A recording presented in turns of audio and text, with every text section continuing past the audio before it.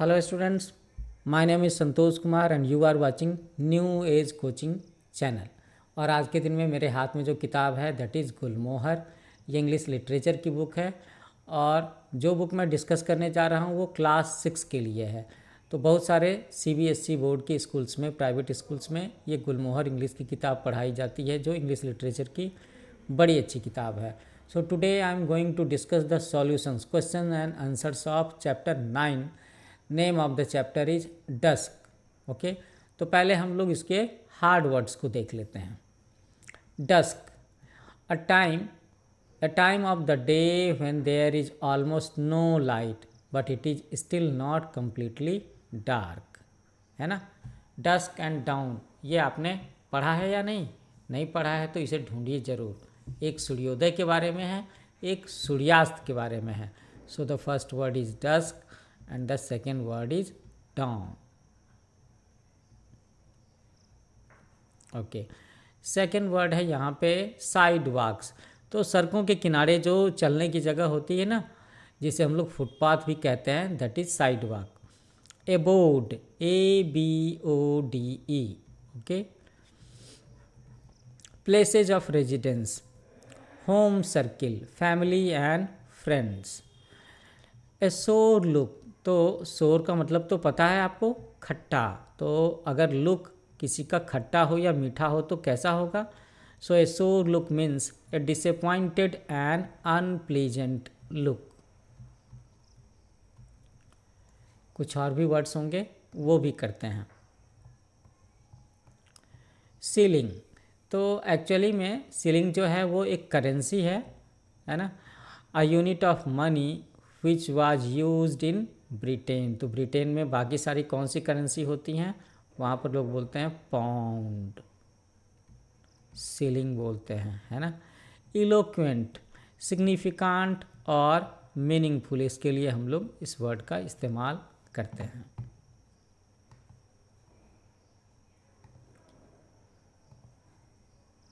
Now we will start answering the questions, the textbook questions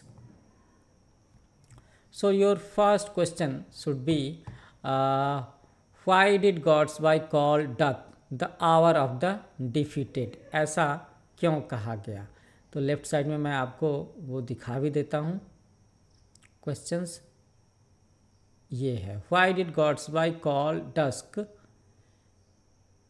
the hour of the defeated उस समय को our of the defeated क्यों कहा गया है? Gortsby call dusk the hour of the defeated because he believes that it was the time when the less fortunate came out feeling relieved that they would be able to go about their work unnoticed इसलिए कहा। Second question. Why did the bright lights represents है ना? What did the bright lights represent to Gortsby Gortsby को ये जो bright lights हैं वहाँ पर, वो किस चीज़ के बारे में इशारा करती हैं?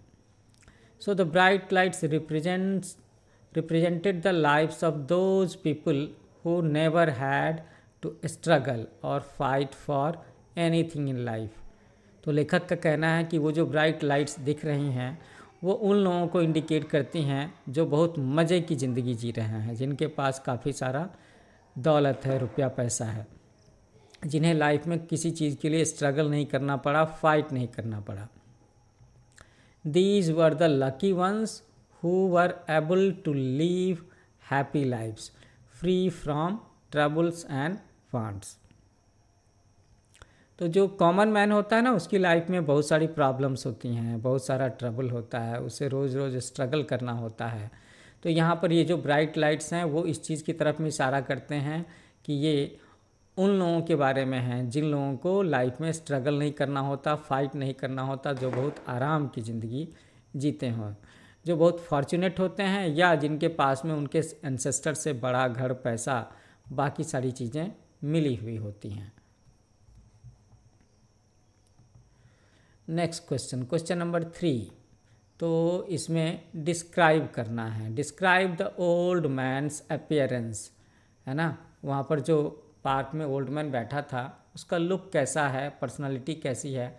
The same thing has to be described so the answer is the old man had drooping shoulders and a firm expression on his face although his clothes were not shabby or untidy, they certainly did not make him seem as if he was a rich or a fashionable man. तो उसके कपड़े ऐसे नहीं थे ना जिससे कि ये पता चले कि वो एक धनी आदमी था या फैशनेबल आदमी था question number four in a foreign city, it would not be so difficult. What does it in this sentence refer to तो इस सेंटेंस में इट का मतलब क्या है? ये बताना है हमें। Why is it easier in a foreign city so in this statement it refers to the young man's problem of having to find a place to rest for the night तो होता है, बहुत सारे स्ट्रगलर्स जो होते हैं young man होते हैं उनके पास में ना दिन भर तो एक जगह से दूसरी जगह वो काम ढूंढते रहते हैं एम्प्लॉयमेंट के लिए, नौकरी के लिए इंटरव्यू के लिए दौड़ भाग करते रहते हैं। तो शाम में उन्हें ना एक जगह चाहिए होता है जहाँ पर वो आराम कर सकें। Specially since he did not have any money और ख़ास कर के तब जब उस यंग मैन के पास में कोई पैसा ना हो it would not have been so difficult in a foreign city because he would have been able to get in touch with the consul's office and ask for help अगर ये विदेश की बात होती तो वहाँ पर वो काउंसिल के ऑफ़िस में जा कर के इस चीज़ के लिए हेल्प मांग सकता था। अब हम लोग आ गए हैं क्वेश्चन नंबर सिक्स पर।